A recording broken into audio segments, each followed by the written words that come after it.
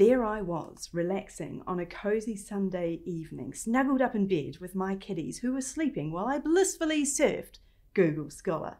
Suddenly, and it was almost worth sitting upright in bed, I found an outrageously fabulous journal article about qualitative research in perioperative anesthesia.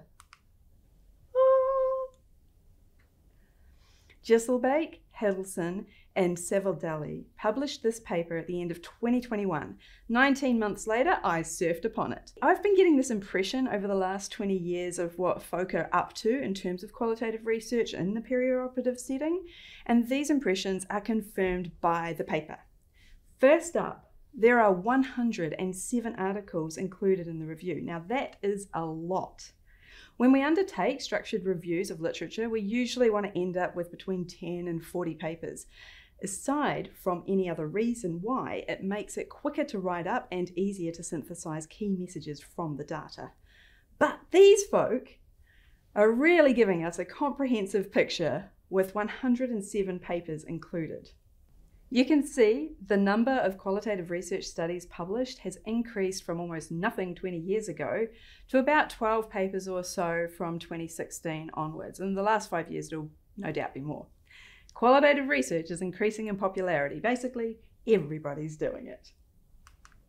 This paper found research topics most represented in the literature include patient safety, barriers to evidence based medicine, patient experiences under local regional anaesthesia, training and practice, patient experiences of care, implementation of changes in clinical practice.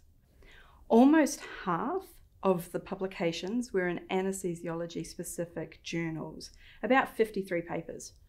79% of the research teams included one or more nurse anaesthetists or anesthesiologists, and 5% of studies were conducted by a single author, whereas 55% of the articles included at least one author with education in a non medical or non nursing science, such as the social sciences, education, uh, psychology, technology. In other words, most research teams included topic specialists and research method specialists which is a great way to ensure that your research hits the right marks. On page 1815, they write most of the articles in our review reported on qualitative single method studies. Only 16 articles reported on mixed method studies. We extracted the keywords used by the authors to refer to their theoretical methodological approach. In nearly half of the publications, no particular methodological approach was mentioned. Ouch!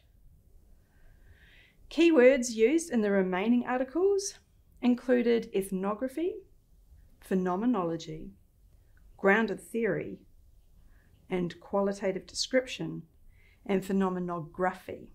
What methodologies are folks using? Well, general purpose qualitative research with thematic analysis tops the charts with by a long shot. This likely reflects that you don't need to have a complex understanding of philosophy for this one, and that if you follow the methods of thematic analysis, you're likely to arrive at findings that you can defend. Content analysis comes up pretty often. This is also based on a general purpose qualitative approach, which basically means inductive, interpretive.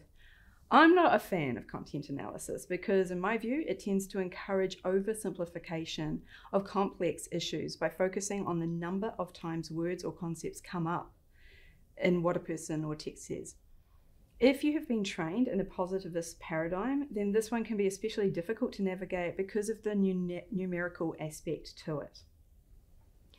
Grounded theory comes in at 6.5%. This may reflect that it's a big time commitment and it takes a long time to do, it's hard to do, and you need a reasonably sophisticated understanding of social theory. I wanted to know how papers managed to get published if they did not report an analysis method. So I went for a deep dive into the paper and included uh, and looked at the literature.